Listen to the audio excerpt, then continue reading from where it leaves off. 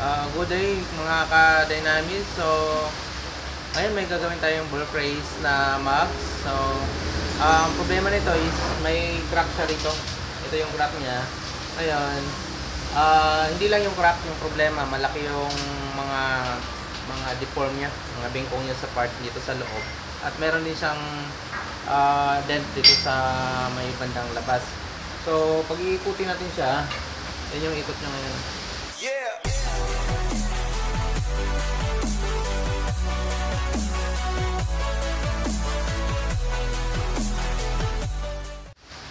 So, napaka alikot yung ikot niya.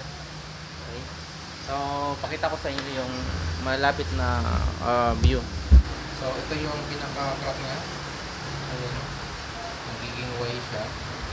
Ah, yan yung So, yan yung pinaka-crack niya. So, nag-way siya ito. Pinapapukpok niya ito dati sa ba. Pinagawa niya na to. Pinapukpok lang, hindi naman siya welding. Wala siyang welding na ano. So, ah, pero kulang sa tulang. Okay? Ah, ngayon, ikutin natin para makita niyo yung ikot niya. Sabi yung malaki yung uh, deform niya sa loob. So, yan yung ikot niya ngayon.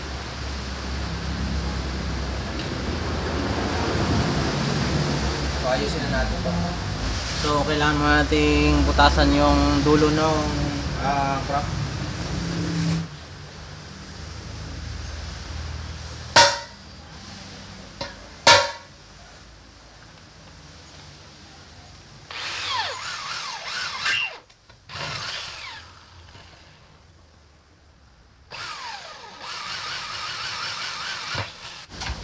So, ito na yun.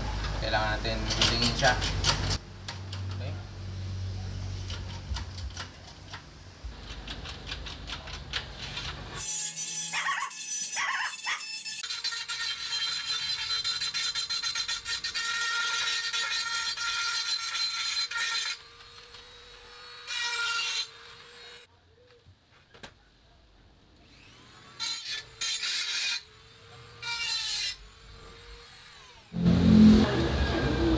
So, kailangan natin siyang welding ngayon, mga kalinamis.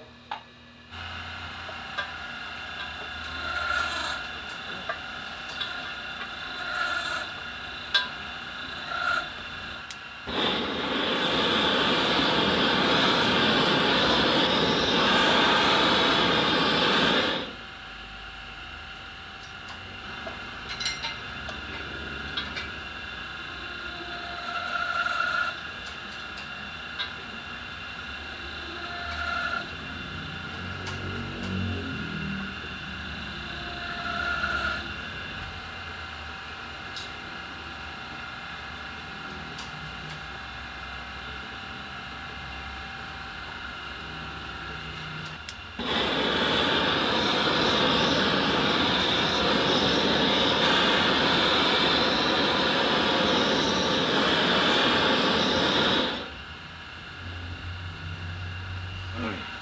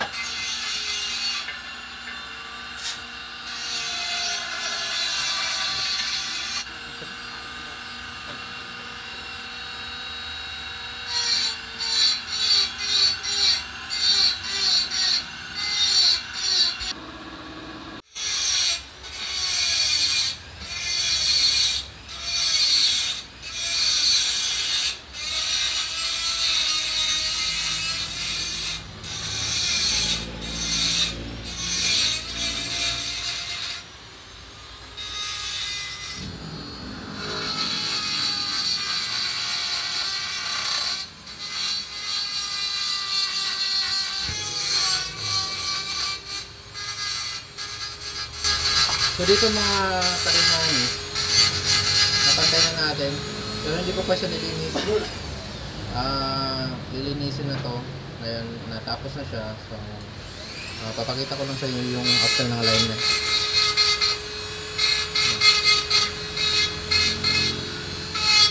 Pantay na pantay na siya.